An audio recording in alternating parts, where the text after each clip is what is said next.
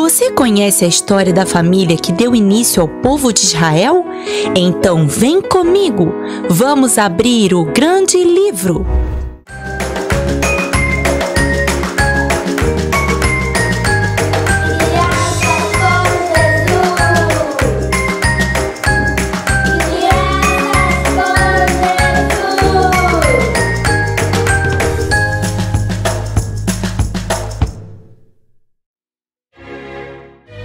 Esse é Abrão. Ele era um senhor de 75 anos quando Deus falou para ele assim: Saia da sua terra e do meio dos seus parentes e vá para o lugar que eu vou te mostrar.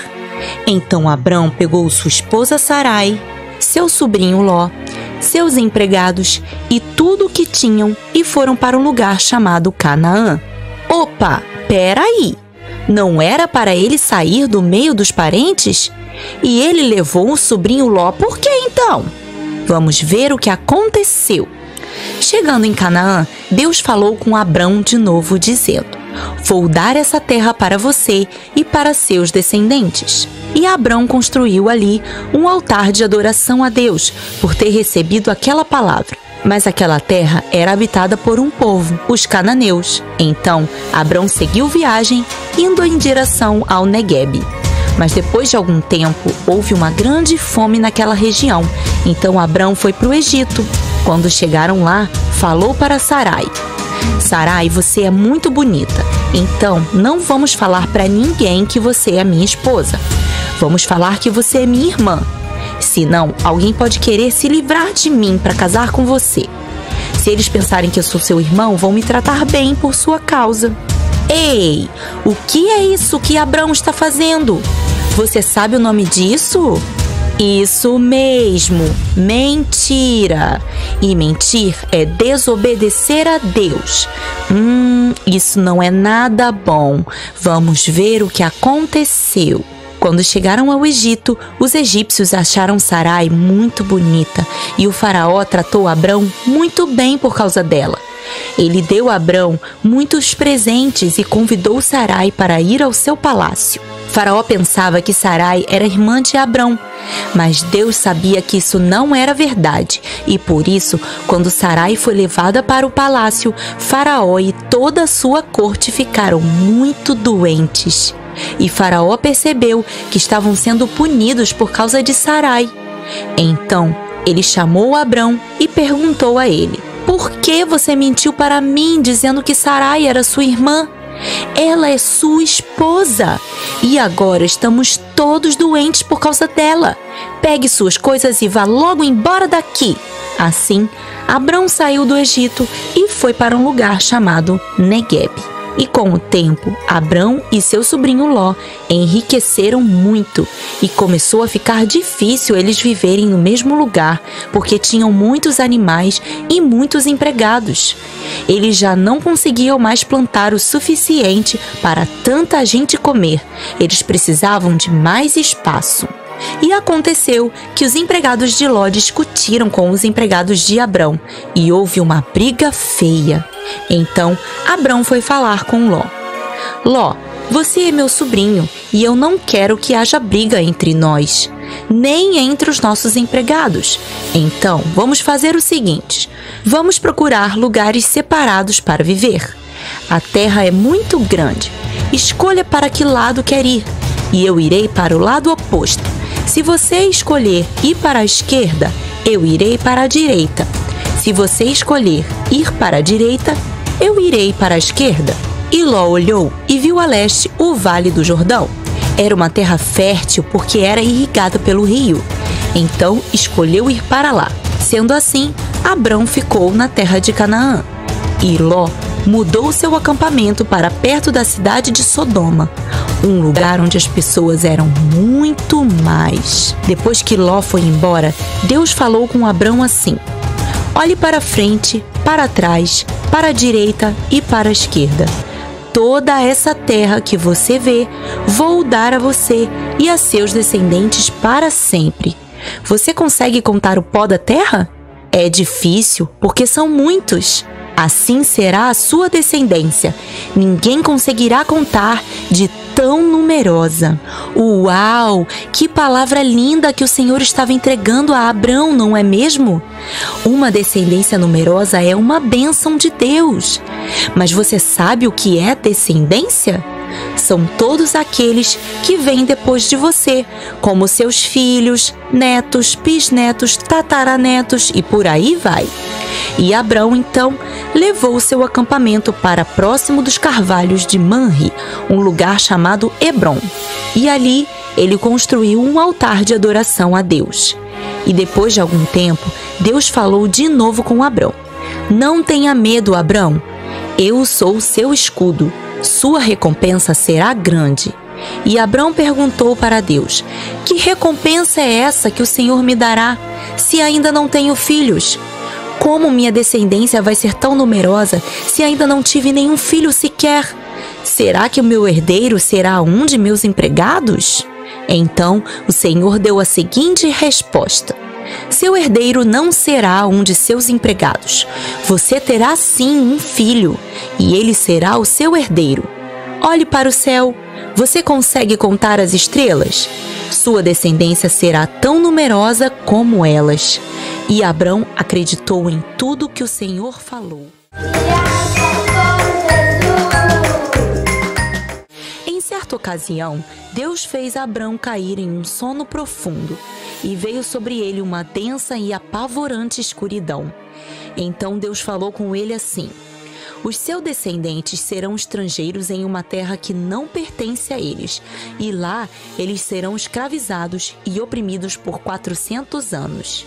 Mas eu mesmo castigarei a nação que os escravizar, e eles sairão de lá ainda com muitos bens. E você vai ter uma boa velhice e terá paz.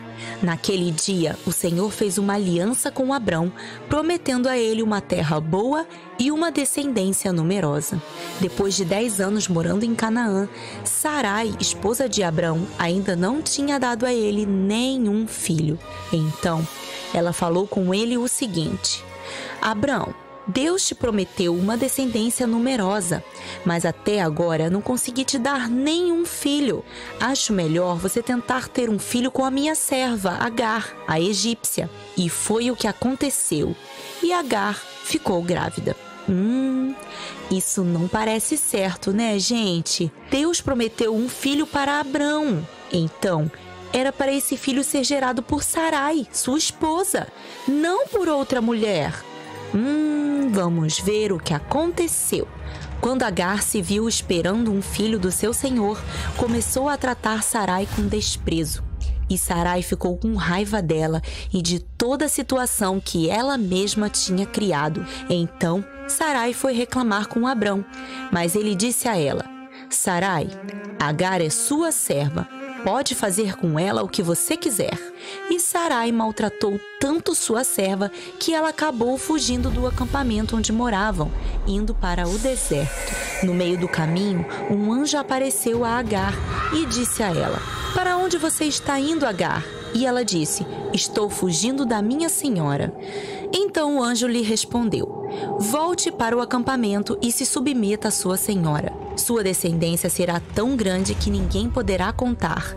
Você vai chamar seu filho de Ismael, que significa O Senhor me ouviu em meu sofrimento. Ele será como um animal selvagem.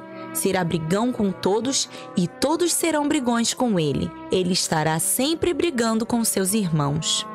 E assim Agar fez. E quando Abrão tinha 86 anos, nasceu seu filho Ismael. Quando Abrão estava com 99 anos, Deus falou com ele mais uma vez: Eu sou o Deus Todo-Poderoso. Seja íntegro e ande na minha presença. Vou estabelecer minha aliança com você e vou multiplicar muito a sua descendência. Você será pai de muitas nações. Por isso, seu nome não será mais Abrão. Seu nome agora é Abraão. Você vai ser muito próspero. Seus descendentes formarão nações e alguns deles serão reis. Minha aliança com você será eterna. Eu serei o seu Deus e o Deus de seus descendentes. E de agora em diante, sua esposa também não será mais chamada de Sarai. O nome dela agora é Sara. Eu vou te abençoar através dela, dando a vocês um filho, de onde virão as nações e os reis. Mas Abraão estava achando aquilo tudo meio difícil de acontecer. Então ele disse ao Senhor: Será que é possível um homem de 100 anos de idade ter um filho? Será possível Sara ficar grávida aos 90 anos? É melhor que Ismael seja meu herdeiro, não acha? E Deus o respondeu: Sara vai sim dar luz a um filho. O nome dele será Isaac. É dele que virá a sua numerosa descendência. Quanto a Ismael, já que você pediu, vou abençoá-lo também.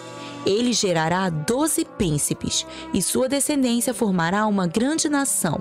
Mas a minha aliança farei com Isaac, o filho que Sara te dará no ano que vem, por essa época.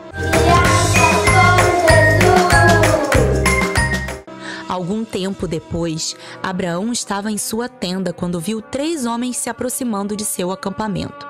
Ele levantou-se depressa e foi falar com eles e disse: Meus senhores, não prossigam viagem antes de parar um pouco aqui, descansar e fazer uma refeição. Por favor, sejam meus convidados. E eles concordaram. Depois de tudo pronto, Abraão serviu os três viajantes com uma deliciosa refeição e, enquanto comiam, um deles perguntou: Onde está sua esposa Sara? E ele disse: Está ali na tenda. E ele disse: Voltarei aqui na primavera e Sara terá um filho. Sara estava na tenda ao lado e, quando ouviu o que o homem disse, riu consigo mesma e pensou: Será possível eu, tão idosa, ter um filho? E o homem disse a Abraão: por que Sara riu e pensou que seria impossível ter um filho já sendo idosa? Será que alguma coisa pode ser impossível ao Senhor? Voltarei na primavera e ela terá um filho. E ouvindo isso, Sara teve medo e disse ao homem: Eu não ri. Mas ele disse: Riu sim. Depois disso, os homens foram embora, e aconteceu exatamente como os homens haviam falado. Milagrosamente, Sara, aos 90 anos de idade, ficou grávida, e Abraão já tinha 100 anos quando o menino nasceu, e como orientado pelo Senhor, Abraão colocou o nome de seu filho de Isaac, que significa riso. Estavam todos muito felizes. O tempo foi passando, Isaac foi crescendo e Ismael 13 anos mais velho, convivia com a família no acampamento. Um dia, Ismael riu de Isaac e Sara viu. Ela ficou indignada e foi correndo falar com Abraão. Ela disse: Livre-se dessa escrava e desse menino. Não quero que ele seja herdeiro junto com meu filho. E Abraão ficou muito perturbado com o pedido de Sara. Afinal, Ismael também era seu filho. Ai, ai, ai. Estava na cara que aquela ideia de Sara de entregar sua escrava para ter um filho de Abraão não daria certo. Olha aí a confusão. Mas Deus não deixou Abraão sem resposta. Ele disse: Não se perturbe por causa do menino e da escrava. Faça tudo o que Sara te pedir, porque a sua descendência virá por meio de Isaque. Mas o filho da escrava também é seu descendente, então farei dele um povo também. Na manhã seguinte, Abraão pegou alguns pães, uma vasilha com água e despediu a escrava com o menino. Ela foi andando pelo deserto sem destino. Em certo momento, os pães e a água acabaram e Agar não tinha mais o que fazer a não ser esperar pela morte. Então ela pegou Ismael, deixou ele debaixo de um arbusto e foi sentar a uma certa distância dele, porque pensou: não quero ver o meu filho morrer e começou a chorar. E o menino também chorava, até que Deus ouviu seu choro e veio um anjo falar com Agar e disse: Por que você está chorando? Não tenha medo. Deus ouviu o menino chorar lá de onde você o deixou. Pegue o menino pela mão, porque farei dele um grande povo. E Deus abriu os olhos dela, e ela viu uma fonte. Ali pegou água com sua vasilha e deu ao menino, e os dois passaram a viver no deserto e Deus cuidava deles.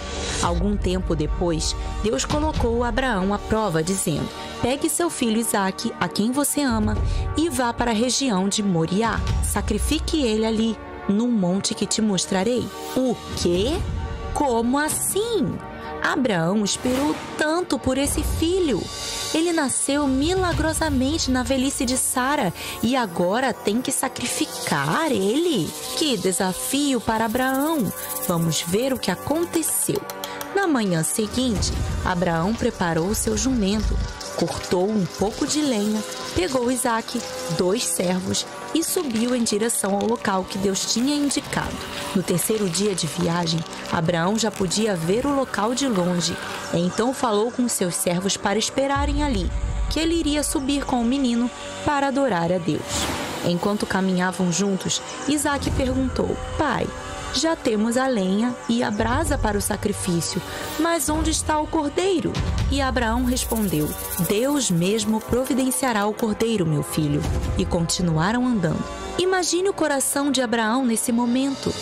Deus pediu a ele o que ele tinha de mais precioso: seu filho. Imagine quantos porquês estavam rondando a mente dele naquele momento. Por que Deus pediria o filho que ele mesmo deu?